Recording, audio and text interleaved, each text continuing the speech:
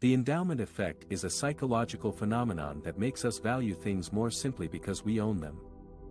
It is a result of loss aversion, which means we dislike losing things more than we enjoy gaining them. In this section, we will explore how you can use the endowment effect and loss aversion to motivate your potential donors to give more by highlighting the value and impact of their donations. One way to do this is to frame your donation request as a choice between keeping or giving up something valuable.